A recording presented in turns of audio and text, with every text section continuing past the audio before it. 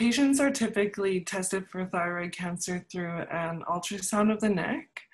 and then they would receive a fine needle biopsy, so which is typically ultrasound guided, so that the um, so that your endocrinologist or whomever is providing your care can can um, biopsy the cells, and then um, other tests can take place like CAT scans and PET scans, but or an MRI even. Um, but typically, it can be diagnosed with a fine needle aspiration, and then then your specialist would decide what to do from there.